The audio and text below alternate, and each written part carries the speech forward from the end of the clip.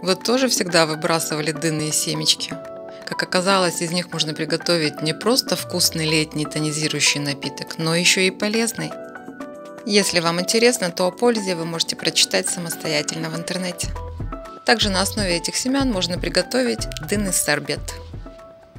Семечки я очистила, и мне понадобится 2-3 дня, чтобы их просушить. Итак, стакан сухих семечек, стакан объемом у меня 200 мл и полстакана сахара. Я все отправляю в блендер и перемалываю в муку. Вместо сахара можно также использовать и мед, но только мед уже добавить непосредственно в напиток.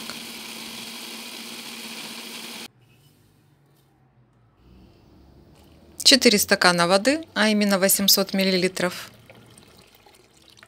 Хорошенечко перемешаю и оставлю на один часик настояться. Никогда бы раньше не подумала, что семена дыни могут давать такой вкус, аромат и цвет. Но мне кажется, что сама дыня должна быть сладкой и ароматной.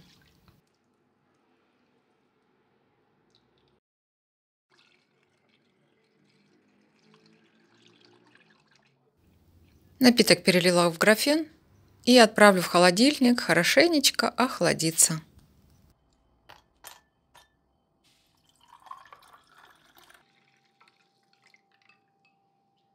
И очень просится сюда свежая мята. Кстати, ее можно положить сразу в графин.